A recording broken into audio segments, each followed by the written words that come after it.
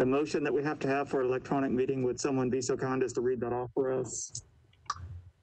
Uh, council member, this is John Cooper. I'll read it and then someone can read that motion. Thank you. Pursuant to Governor Lee's executive order number 16 regarding electronic meetings as extended by executive orders number 34 and 51, I make a motion that this committee meeting agenda constitutes essential business of the Metro Council and that meeting electronically is necessary to protect the health, safety, and welfare of Tennesseans in light of the COVID-19 outbreak. So moved. Is there a second? All right, thank you. So uh, with that, the Personnel Committee is uh, brought to order. I will take the roll. Uh, Let's see, I see Councilmember Young, Withers, Zulfat, Rutherford. Do we have, there's Councilmember Roberts. Councilmember Roberts, we just called the meeting to order. I can't quite hear you.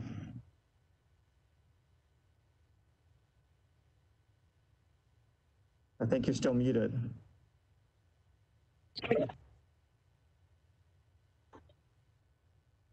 Can you hear me now, Brett? I can hear you now. So uh, we have, ju- we just called the meeting to order, so I will turn it over to you. Okay, great. Have we read the motion uh, pursuant to Governor Lee's executive order? We have. Great. Well, we'll start with um, Councilmember Suara, uh, first one on the agenda, and that is elections and confirmations. Councilmember Su- Suara term on the Metro Action Commission ends on 31st, 2020, 31st, 2020. The Personnel Public Information Committee must select a representative for next year. Do I have any nominations?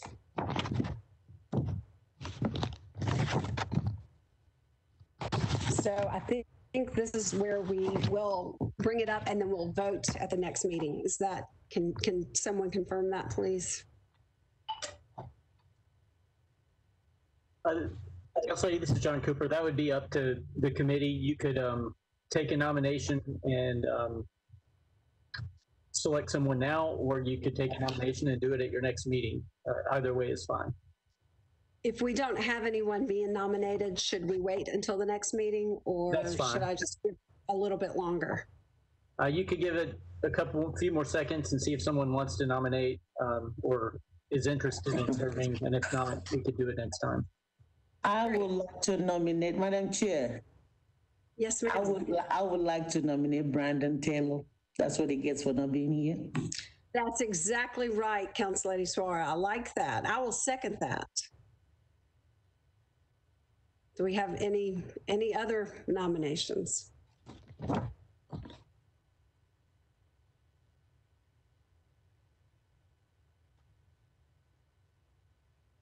Is there anyone else that's not here we can nominate?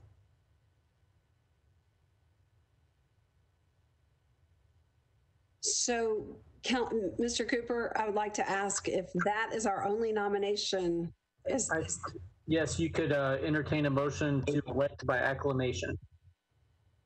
okay, I would like to, Madam Chair, I would move to cease nominations and elect uh, Brandon Taylor by acclamation. thank you, uh, Councilman Young. I like that idea. Um, or do I have a second? Second, Okay, and um, Mr. Cooper, just to be clear, if Councilman Taylor is not ready to serve in this capacity, does he have any say-so in this? He could decline the position and then the committee would have to elect someone else at the next meeting. Okay, uh, Madam Chair, yes, ma'am. If I may add, uh, uh, jokes aside, I did not just nominate him just because he's not here, but also I look at what the Metro Action Commission does, having served on that board. Uh, I think it, it goes well with the constituents that uh, Councilmember Taylor serves, and I think that it will be a good addition to that uh, to that board. Uh, so that was the rationale. It was just it wasn't just because he wasn't here, uh, but I do think that uh, he will be able to do more with his constituents and be able to serve well on that board. Council Lady Suara, I served on that board for two years as well, and I found it amazingly fulfilling. And I think Councilman Taylor has all of the necessary elements to be a fantastic member of that board. Mr. Cooper, I have one other question. I served with Council Lady VanReece, and I know that Councilman Pulley and Council Lady Murphy are serving together. Is there just one person rotating off, or are there two that we need to nominate for this position? Not sure. Let me look at the agenda. I can answer Like that. there's just one that's rotating off. Okay, I, I can answer that. I think the personnel committee gets to do one and the else uh, committee gets to do one. So I'm doing personnel right now and Sharon Taylor is doing the else depart, the else committee. So I think that's how we got to have two, but our committee only gets to do one. great. Okay. Well, with that motion, and I think we have a second, I would like to, to move that Councilman uh, Taylor is our nominee. All in favor? Aye. Aye. Aye. And you'll have to forgive me, I, I was not here for the role. Count, I see Councilman Young, Councilman Withers, Councilman, Council Lady Suara, and Council, and I, and is Council Lady Hausser or Councilman Rutherford, either one in attendance? Rutherford here. Great. Thank you, Councilman Rutherford. Okay, so I'm, I'm assuming that is four in favor and zero against. Well, one, two, three, four, five in favor, zero against. So we will, we will move on. Next on the agenda is Bill BL 2 2020-387 by Hancock Evans and others. It amends the Metro Code of Laws pertaining to health insurance benefits for members of the Metro Council after they leave office. And there's also a proposed amendment by Councilman O'Connell. Do I have a motion? So moved. Do I have a second? Second. Thank you. And is Council Lady uh, Hancock on this call? Yes, I'm here, Madam Chair. Great. Would you like to, to discuss this? Yes, absolutely. So um, I brought this bill to the table because I first heard about this during the budget process. I was on the call between um, Council at Large Suara, who was hosting uh, Budget Chair Mendes, and he was talking about how there wasn't really much more we could cut, that we've cut the fat off the budget, we've cut into the meat, and we can't cut the bone. He said, except for this um, health package that just gets to be a greater and greater cost each year because of the cost of healthcare. And it's um, it's an unprecedented package in our peer cities or our neighboring cities. They don't do this lifetime benefits for someone that has only served eight years. It was um, in 2013, our Metro employees went under a restructuring where they went from two different um, vesting options of five years or 15 years, and they were all switched to 20 years from then on in 2013. So in 2014, we did a comprehensive review of our benefits and and compensation by an outside company, Deloitte. And the information that came back from them had two recommendations for council.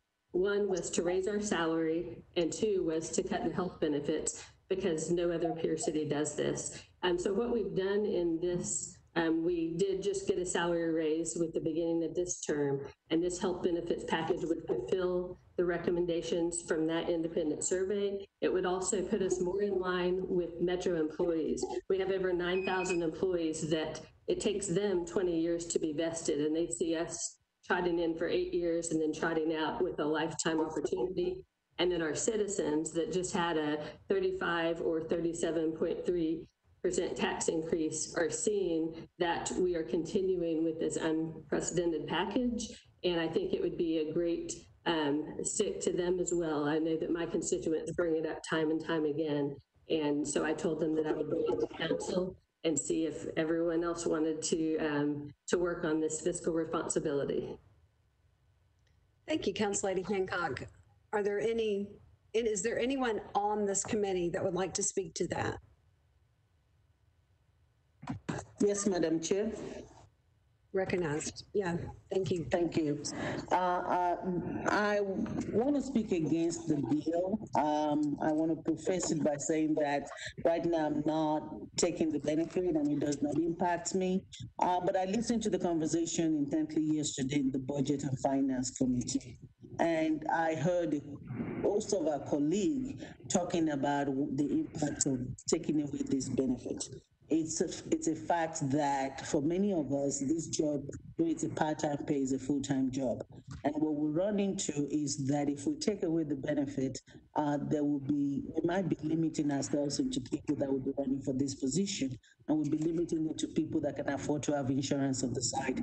I heard about two of my colleagues talk about having to leave their jobs in order to be able to run for council.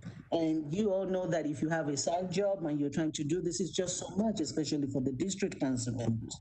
And so if this is part of the benefits and part of the reason why people are running, we do not want to have a, a council that is not diverse. And I'm not talking about race. I'm talking about socioeconomic as well. And we know that that cross all areas and it, it, it impacts us in different ways. Some of us can and some of us cannot. So we want a council that is open to everyone. We want a council that we're inviting others to be a member. And we want a council that is not based on uh, uh, whether you can afford something or not. And so based on that and those testimonies, uh, and there was there was a lot that was said, and people can go back to to the finance uh, meeting uh, yesterday to hear more from our colleagues.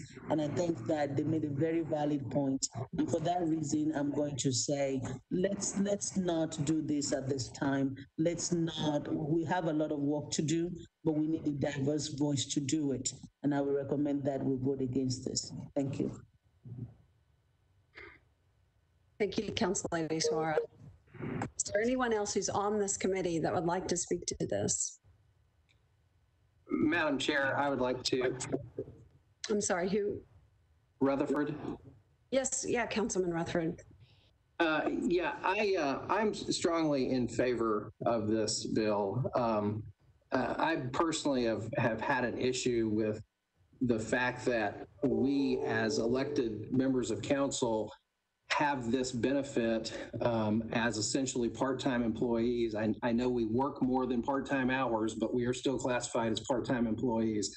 And um, the idea of vesting in eight years and getting the lifetime benefit, which no other uh, employee or part-time employee of Metro gets, puts puts us in a special class, if you will. And I, I'm just not comfortable with being in a special class uh, apart from the rest of Metro employees.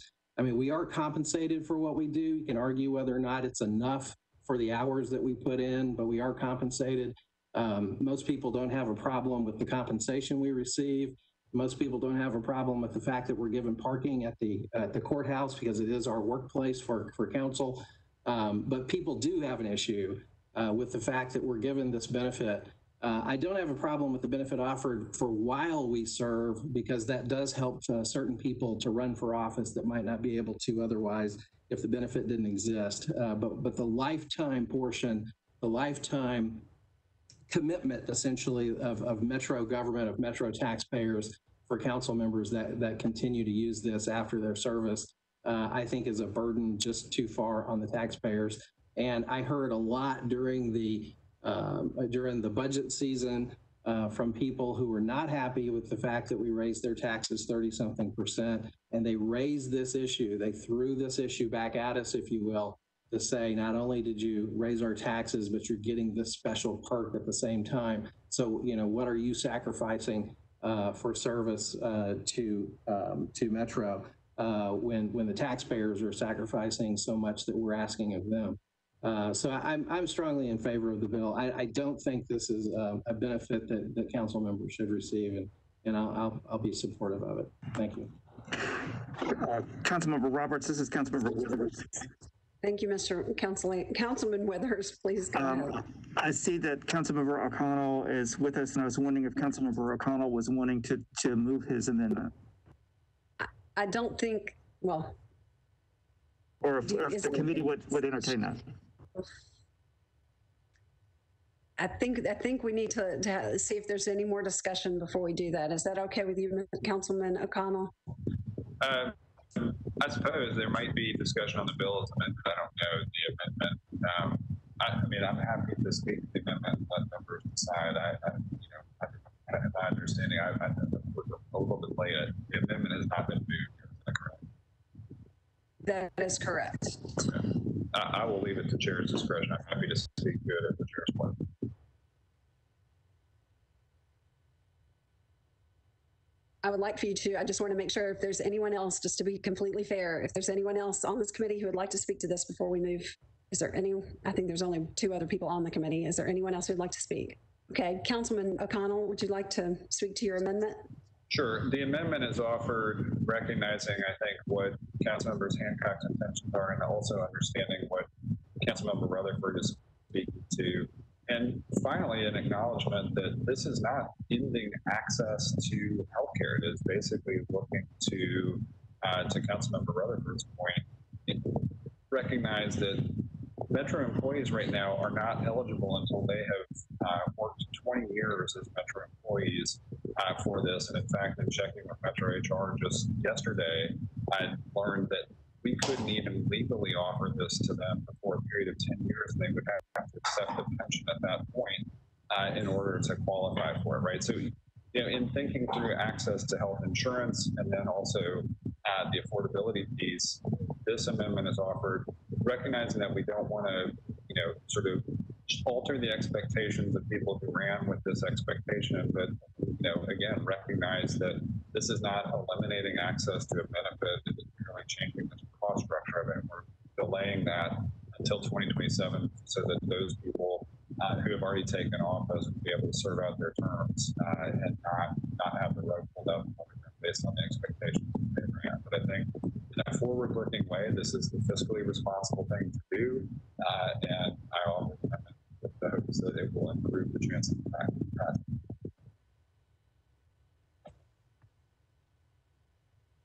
Is any, i- i- i- that might have just been Councilman O'Connell. I- You were kind of coming in and out a little bit.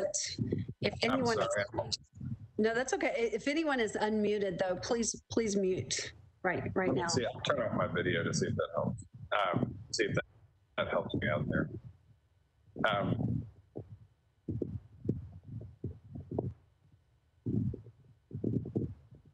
okay. Um, anyway, the amendment is there to extend the period in which the full benefit is available.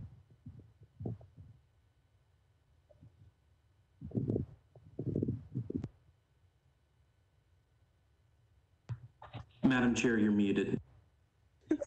Is there any discussion on Councilman O'Connell's amendment? Thank you, Councilman Young. And just by point of order, no one has yet moved. I'll go ahead and move the amendment. Do we have a second? Second. Okay, the amendment has been moved. The Amendment has been moved. And with that said, Madam Chair, I guess, um, just to, to clarify, I think because Councilman O'Connell's audio was a little spotty, I guess, uh, to make it clear what this amendment does, um, and this is a question, so someone correct me if I'm wrong, but so essentially this amendment uh, grandfathers in not only current council members in their second term, but to essentially all council members currently serving. Is that an accurate uh, reflection? That is correct. That is correct.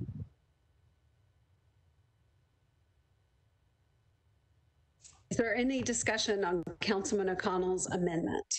Councilman O'Connell, you may as well put your uh, video back up. I don't, I didn't see a dramatic difference when the video was on or off. It's kind of nice seeing your face. I certainly saw a dramatic difference, though I didn't hear one. Sure. Uh, Madam Chair, I'd like to ask a question on the amendment. Yes. Um, I'm, I'm wondering, um, and, and Councilman O'Connell may have covered this and we just may not have caught it, um, in, in his, uh, spotty audio, but, um, I'm wondering what brought about the, um, the idea of basically grandfathering everybody in is, is, was that simply done as a way to, you know, secure the, the bill itself, uh, for, for, for the potential for, for passing it? Um, or is there another reason for, uh, is it, is it like being seen as like, we've promised this already to the existing folks, so therefore we're going to hold to the promise? Uh, how, how, what's, what's the view on, on that? Sure. Thank you, Councilmember Rutherford. The, the general rationale there is that people who might have run for their first term this time around might have expected that were they to serve next term as well, they would qualify for the full benefit, including the effectively the stipend, right? The subsidy, the increased subsidy. I, I, you know, I fully support the fiscal responsibility element of this, and, and your point as well. The sort of privilege that this is, a public option that is available only to those that serve as council members, and not even to the remainder of Metro employees. Um, but I would not want people to vote on something that effectively cancels something that they might have been expecting, counting on, relying on uh, when they first took office. As I know, this is something that people, you're going to hear it in this committee and probably on the floor tonight, that people rely on this to some extent to, to make their decision about whether to run.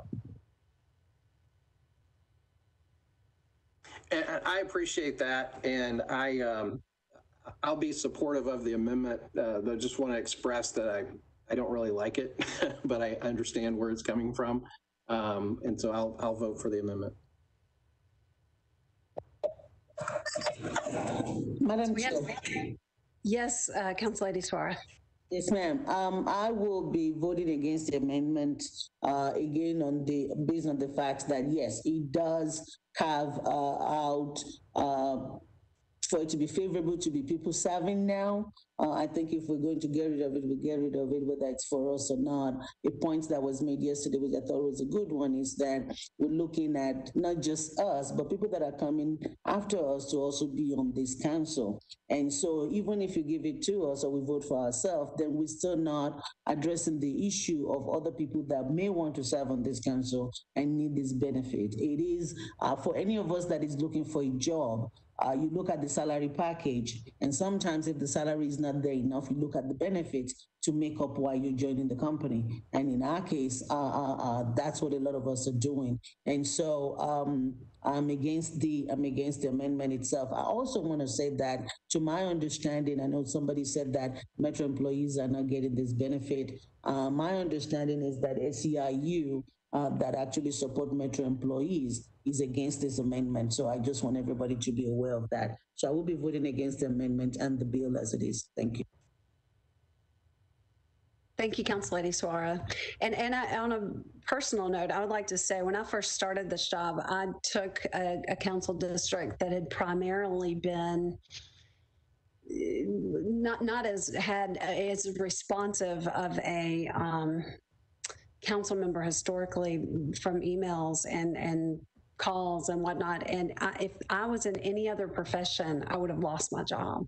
There's no way you can take on the a, a tier a, a, a district that hasn't been worked in a long time that's growing like the nation's was growing when I first took office and not make it a 40 50 hour a week job. And so if i was in any other profession than real estate I, I really the first two years i was putting in 50 60 hour weeks sometimes. And once i kind of got better at the job that no longer was the case. But the insurance for me was life changing and so from my perspective it is absolutely something i can't support because i'm in hopes that other people that if they get into a situation where their district is exploding with growth they'll be able to give their district the attention it needs and deserves and not feel like that they're having to make a decision between their health care and their district.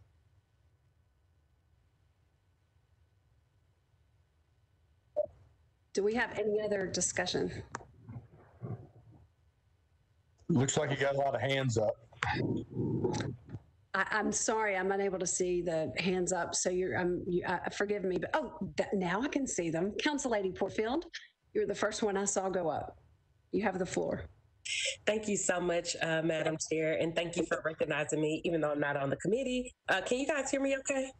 Yes. Okay, great. Thanks. Sorry, I was having uh, some tech issues a little earlier. Um, uh, and again, thank you for recognizing me, even though I'm not on this committee. Uh, I will be, uh, I am supportive of uh, Councilman O'Connell's amendment. However, I will be voting against uh, the legislation. I do think that it becomes an equity issue. I remember watching this when it came in 2017, and members of the Minority Caucus um, fought this very legislation. Um, it's come up several times um, on council in the past as well. Um, and again, for me, it is definitely uh, an equity issue. You have people that um, are running for council. I don't think that anyone runs for council for this uh, for this benefit. You know, the the pay that we make is a very um, small amount in comparison to the amount of work that we do. So I don't think that anyone does it because of the benefit, but the benefit is a way to help ease some of the financial burden that people are experiencing.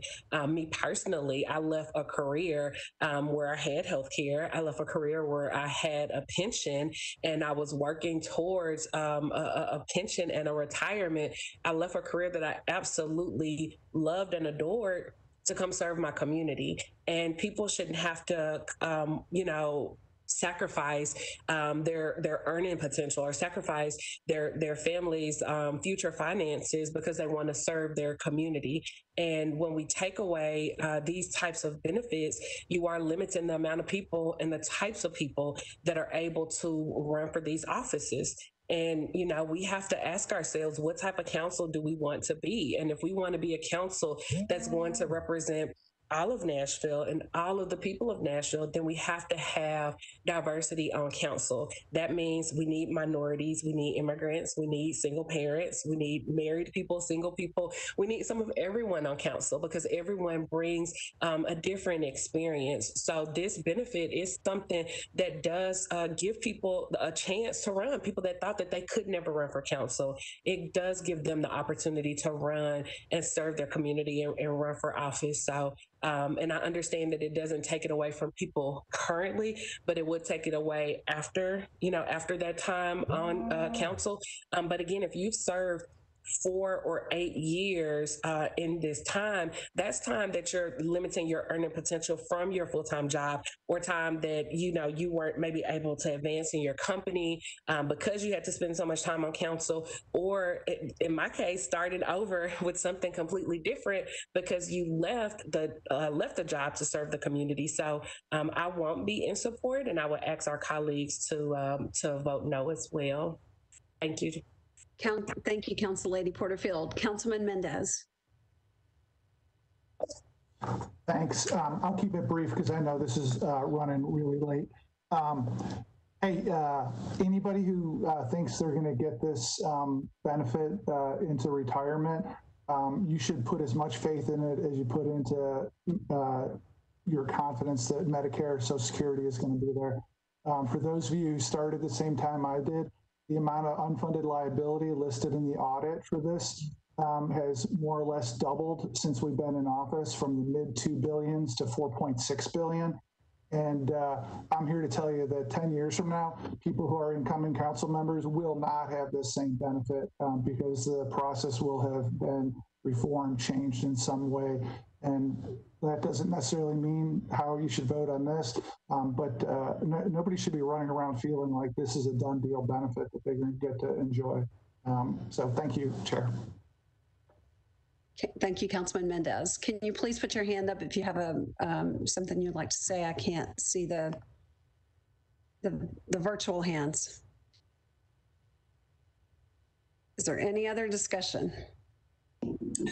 Yes, Councilmember Roberts. This is Councilmember Hurt.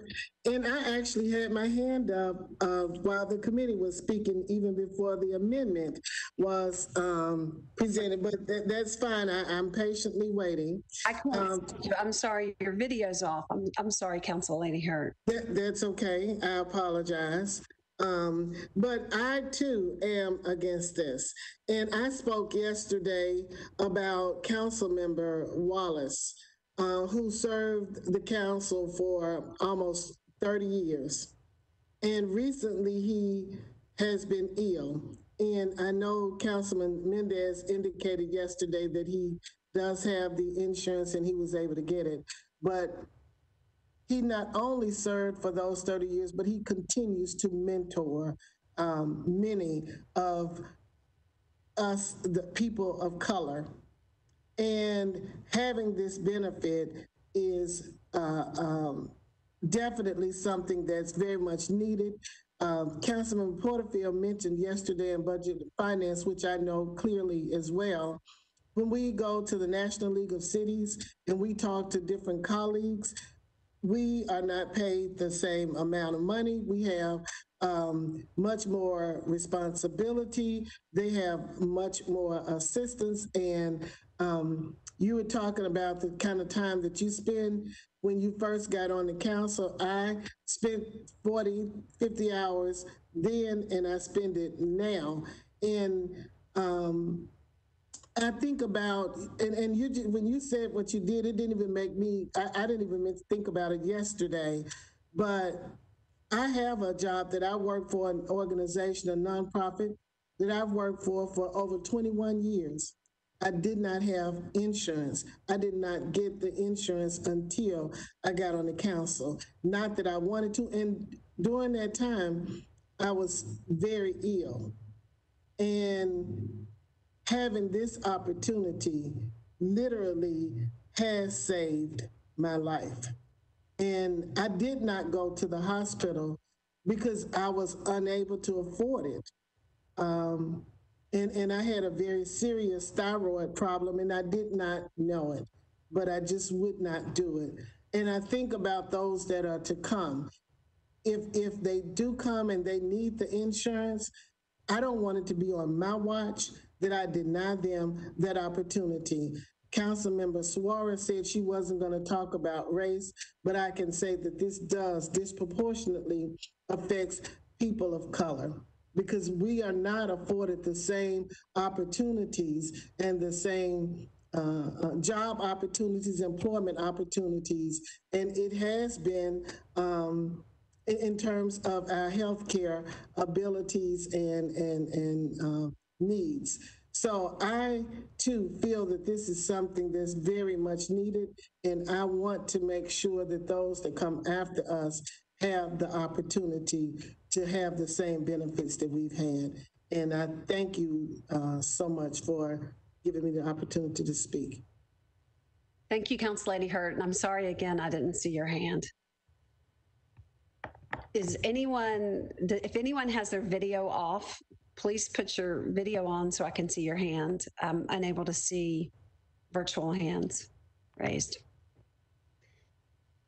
Is there anyone else who would like to speak on this? Going once, going twice. Okay, so we have, um, we have, um, we have, it's moved, it's seconded. I guess we will vote if there's no other discussion. Um, all in favor, No, we're, we're just on the amendment at this point, correct? you're correct. Thank you, Yes, Council. amen. Thank you, Councilman Young. So is there anyone that would like to move the amendment or is there any, any other move? I- Is there anything else anyone would like to, to say? Okay. Um, Would you like to move the amendment, Councilman Young? It's been moved and seconded, I, I thought, but I'll move it again. I like moving. I know you do. And I'll second it again. Again, I like that. It's double done. So that's great. Covered. So all in favor? Aye. Aye. If there, are there any opposed? Yes, opposed. Council Leeds Suara. is opposed and I'm opposed. So that's two, two opposed and, and can I just make sure from a roll call?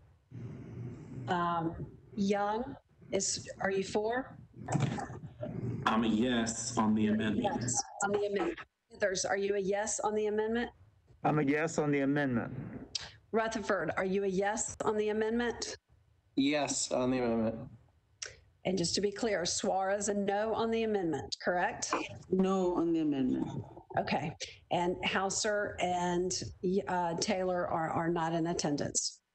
Okay, so we have, we, we voted on the amendment. Would you, can we open up the, so that's it? I'm sorry. So we need to move the actual bill now, correct? So, Bill has been moved, um, but at this point, I, I'm actually going to move for an indefinite deferral. okay, okay. So that's, so do we have a second on that? Second, Great. So on the indefinite deferral, do we have all four say yes? Point of order, Chair, if the amendment was, if the bill was already moved, then don't you have to remove that movement from the table before you can indefinitely defer? Mr. Cooper, are you on here? Uh, I'm on here. A deferral motion takes precedent over any uh, pending motion to approve. Thank you. So we, so we're back on the deferral, correct? So all for the deferral, please say aye. Aye. Aye. Any against? No. And that was council, I'm sorry, who was that? Rutherford? Rutherford. Okay, so f- four in favor, one against. And so is that a one meeting deferral, Councilman Young? I'm moved for indefinite deferral. Sorry, indefinite deferral. So Councilman Cooper, I mean, Mr. Cooper, can you help me here? Yeah, so the recommendation is to defer indefinitely, four in favor, one against. Correct. And that's the last item on the agenda. And that's the last item on the agenda. There's no more. Thank you all. so- Councilmember Roberts, this is Councilmember Taylor. I'd like to be noted as uh, a yes on the indefinite deferral in the, Great. thank you. And welcome to the MAC board, Councilman Taylor. Well, when you, when you, when you miss, that's what happens. That's what happens. Welcome to the board and thank you for your vote. So you're voting for an indefinite deferral, is that correct? That's correct. So it's five in favor, one against. Okay. Thank you all for coming and we adjourned.